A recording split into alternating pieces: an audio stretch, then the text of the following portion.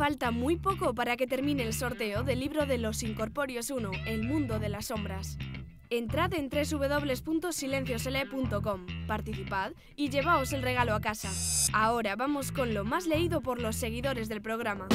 En ficción, habéis devuelto a la lista a Sunset Park, lo nuevo de Paul Auster. La novela que se coloca en el 5 habla de un joven que abandona su vida por completo. Y en el cuarto puesto estrenamos libro. Haruki Murakami nos presenta 1Q84. El libro esconde una fecha en concreto, un mundo de sectas religiosas, maltrato y corrupción.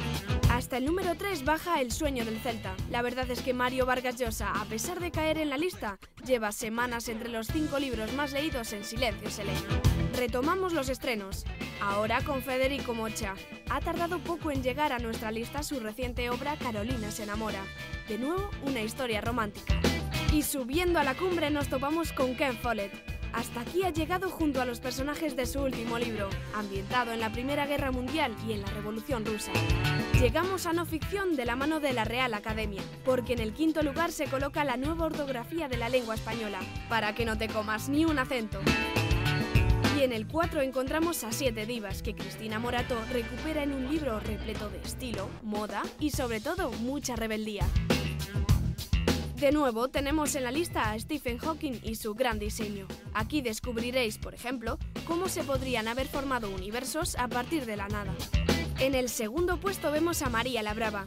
Viene acompañada de la periodista Pilar Eire, que se encarga de retratar la vida de la madre del actual rey de España. Y sin dejar la historia de nuestro país, vamos al número uno. Juan Eslava Galán desmiente en este libro algunos mitos históricos que nos han acompañado durante siglos. Llegamos a infantil y juvenil con la sexta entrega de un triángulo amoroso.